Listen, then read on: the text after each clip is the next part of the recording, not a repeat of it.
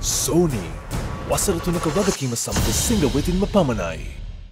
ඒවගේම විසිවෙනි සංශෝධනය ගැන ඔබතුමාට මොකද විසිවැනි සංශෝධන ජනතා විමුක්ති පෙරමුණ ඉදිරිපත් කරලා තියෙනවා විධායක ජනාධිපති ක්‍රමය අහෝසි කරන්න ඕනේ කියලා. එක්සත් ජාතික පක්ෂ මතයත් විධායක ජනාධිපති ක්‍රමය අහෝසි කරන්න ඕනේ. මොකද පහුගිය ජනාධිපති මැතිවරණේ මෛත්‍රීපාල සිරිසේන ජනාධිපතිතුමාගේ මැතිවරණ ව්‍යාපාරයේත් අපි පැහැදිලිවම කිව්වේ විධායක ජනාධිපති ක්‍රමය අහෝසි කරන්නත් ජනාධිපති මැතිවරණ එක පොරොන්දුවක්. ඉතින් ඒක නිසා අපි පැහැදිලි ස්ථාවරයක ඉන්නවා විධායක ජනාධිපති ක්‍රමය ඉවත් කළ යුතුයි කියන තැන. ඇත්තටම ඔබතුමා ඔබතුමත් සල්ලි ගත්තද නෑ මට එහෙම සල්ලි ගන්න උවමනාවක් වෙලත් නෑ මට කවුරුවත් සල්ලි ගෙනලා දීලත් නෑ මම ඇරනුත් නෑ විශේෂයෙන්ම මතක් කරන්න ඕනේ මේ මේ දයාසිරි හිටපු ඇමතුමා කිව්වේ මේ 166ක් ඉන්නවයි කියලා. හැබැයි දිනසී ආණ්ඩුව කාලේ එක්සත් ජාතික පක්ෂයේ හිටියේ മന്ത്രിවරු 47යි. වැඩි හරියක් හිටියේ පොදු ජන එක්සත් පෙරමුණට සම්බන්ධයි. ඉතින් එහෙන එහෙනම් එතුමා කියන හැටියට 166 හිටියේ කවුරුත් එක්කද කියන ප්‍රශ්නයක් තියෙනවා. තමන්ගේ හෘද සාක්ෂියට අනුව කවුද සල්ලි අරන් තියෙන්නේ කවුද සල්ලි අරන් නැත්තේ කියන එක පැහැදිලිව ඒගොල්ලෝ දන්නවා දැනටමත්.